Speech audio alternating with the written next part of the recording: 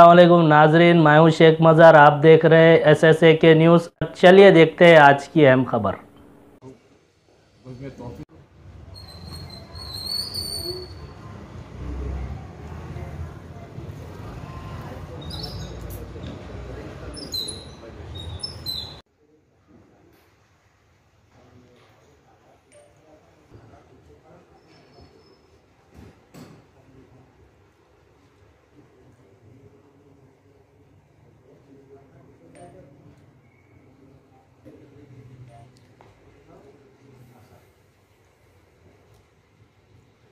की जानब से सौ साल तकरीब हज़रत से जलालुद्दीन तोफ़ी हैदराबादी मनाई जा रही है।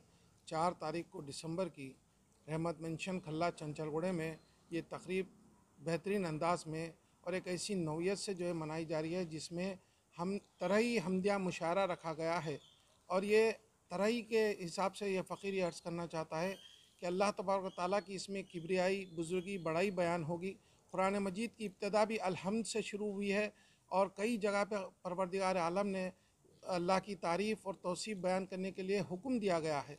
तो हमको चाहिए कि इस रूहानी महफ़िल में आकर इस महफ़िल को कामयाब बनाएँ और ये अपनी नौीयत का बेहतरीन मुशारा है। सौ साल, मैं मुख्तसर अंदाज में ये अर्ज़ करना चाहता हूँ तमाम जो है मिलत इस्लामिया को कि ये जो अपनी सौ साल तकरीब का बेहतरीन जो मुशारा है, इसको कामयाब बनाने में जौक दर जौक जो है आगे बढ़ के हमारा साथ दें और इसको कामयाब बनाएँ। इन तबार ताली जो है अल्लाह हमको कामयाबी अता फ़रमाएगा।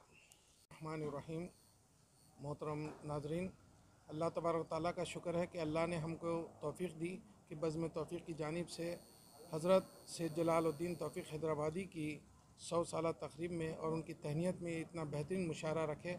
हमद बारी ताला का मुशारा ये पहली नौीयत का मुशारा हमने कई जो है नातिया महफ़िलें देखी।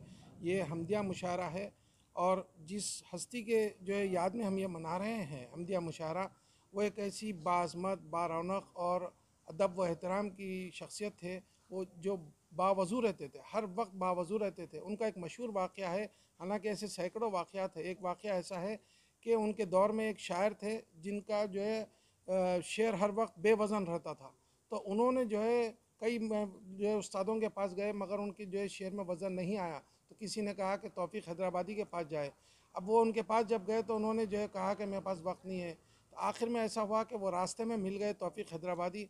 तो वो जो बेवज़न शायर थे उन्होंने कहा कि आपके पास जो है पसखुर्दे की बड़ी अहमियत है हज़रत। कम अज़ कम आप जो है कुछ तो भी जो है चाय या लस्सी पीकर मुझे थोड़ी सी दे दीजिए ताकि मैं जो है फिर मेरा शेर को जो है वज़नदार बना सकूँ। और वैसा ही हुआ कि वो जो है लस्सी थोड़ी सी पी के उनको दे दिए। पसखुर्दे की ऐसी अहमियत रही और ऐसी क़वत रही, उसमें तासीर रही कि वो उसके बाद से जो जो है मुशारे में पढ़ते उनका शेर बावज़न हो जाता था। तो ये अल्लाह का करम है, ऐसी बुज़ुर्ग हस्ती और उनका कलाम पूरा तस्वुब पे मबनी है। तो हमको चाहिए कि उनकी याद में जो मुशारा मनाया जा रहा है, उसको तहनीत देते हुए इसको कामयाब बनाएँ। जो है, आप तमाम का जो है, आप तमाम से दरख्वास्त करता है कि अल्लाह से भी दुआ करें और आप भी हमारा साथ दें। इन शुक्रिया, खुदा हाफिज़।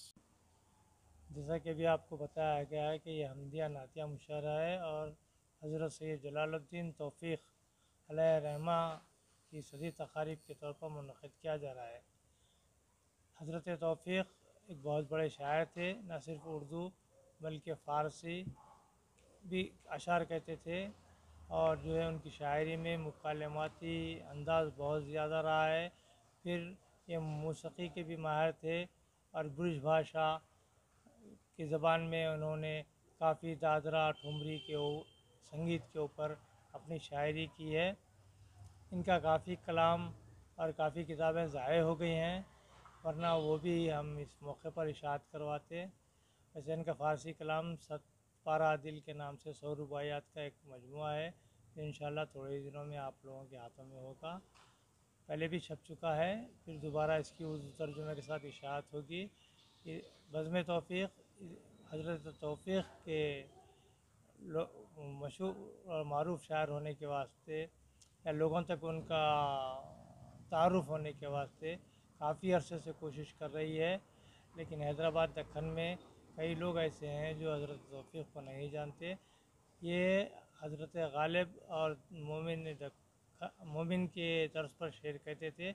इसके अलावा इनके मुकालमाती कलाम में हज़रत अमीर खसरो का जो है इशारा या उनके जो कलाम के तासुरात थे वो आपको बहुत ज़्यादा मिलेंगे। जिस तरह अमीर खुसरो मुकालमाती कलाम में मशहूर थे वैसे ही तौफ़ीक़ दखन भी अपने अशार लिखे हैं। बस बाकी और तो आप लोगों को बताया गया है इन चार तारीख़ को आप तमाम से मुलाकात होगी। वक्त? वक्त जो है बाद है साढ़े आठ बजे। इन